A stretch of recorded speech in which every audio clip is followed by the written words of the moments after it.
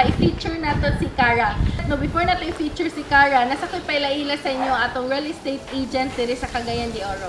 Hi guys, ako dito si Evan, yung real estate agent. So kung may mga inquiry or kung gusto mo mo avail sa itong free site tour or inyong family package, especially sa mga OFW, uh, i-contact lang ko aning number 0936279845 and 0948700078 and also para updated ka sa mga post din sa Cagayan de Oro about real estate or house and lot, uh, i-like, follow, and see first ang ako ang Facebook page na Sino Housing by IGCL. House tour ni Kara. So, mo si Kara, guys. So, na, sayang atubangan, guys, naa siya space para sa inyong fence or landscape. Depende, guys, kung sa inyong buhaton.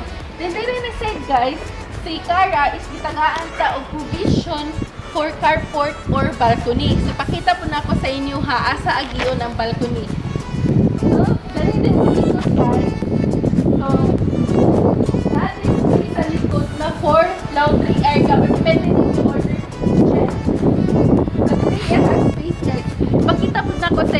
asa siya agiyon unya.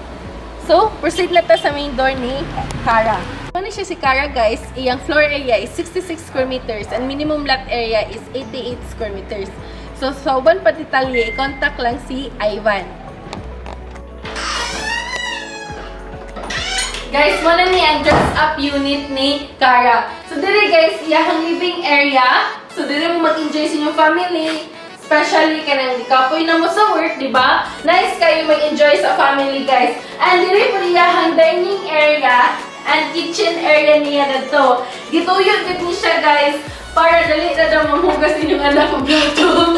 Bitaw, John, kidding aside, no? But depende na ninyo saan ninyo pag-interview pohon si Kara. Ang kato kong giingon kanina, guys, dirty kitchen o laundry area, dito siya agion. But depende ninyo kung sa inyo buhaton is laundry area ba or dirty kitchen. So, luag na siya, guys, as you can see. Wala na siya, guys. So, muna siya si Kara. Then, ang naka-nice si Kara is na siya toilet and bath diri sa ground floor. So, makita ninyo, no, luag kayo iyahang toilet and baths, spacious kaayo. So, kung natin mga personal necessities, or natay guest or kita mismo, nag-proceed na ta ni second floor. Guys, so naa diri ang iyahang first bedroom. So yung first bedroom guys, sinanay pag-design sa mga bata kay good for si Kara manggod kay for startup family manggod ni siya iyahang design. Then mao yun ni naa siya wardrobe plus mirror. Kaya ang example lang gid ni sa developer para natay idea nga pwede day siya may spacious ang isa ka bedroom na dili kay sa gaba lang sa amin, di ba? Then, mao na niya ang second bedroom, guys. So, luag kayo, no?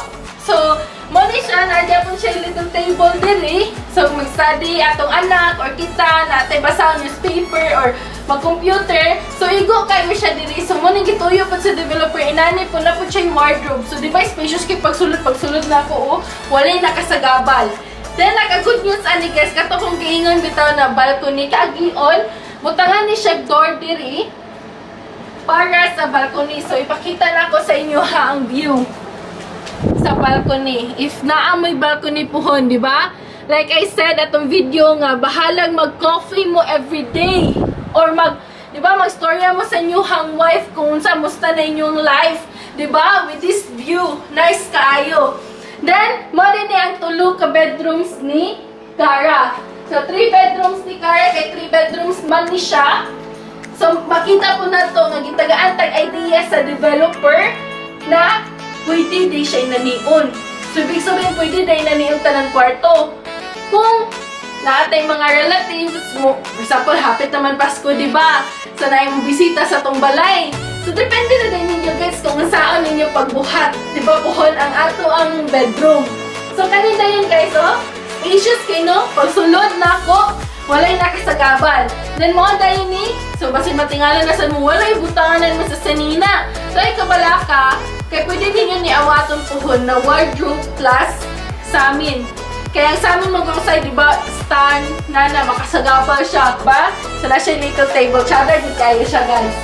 And lastly, kasi mga tana mo sa ako ah, nahulog lagi siya toilet and bus. So, saan pag CR sa tulong ka bedroom. So, ayaw ka guys, kaya na siya common toilet and bus. So, musulod yapon ko para makita ninyo naluag yun siya. Di ba? So, dire, butangan ninyo o shower. So, depende na na ninyo no, sa ninyo pag-design puhon inyuhang CR. So, butangan ninyo dire, just imagine, just butangan ninyo dire mirror. So, ilamos ilamos mo niya, pagpagwapa, skincare routine, o, di ba? Nice kayo, guys, mag ato ang balay. Kay, maka skincare routine, ta. So, dili ta mahago, dili ta ma-stress. So guys, thank you for watching my video. If na may gusto ipa-house tour sa ako, ano, just comment down below para ato ni i-house tour.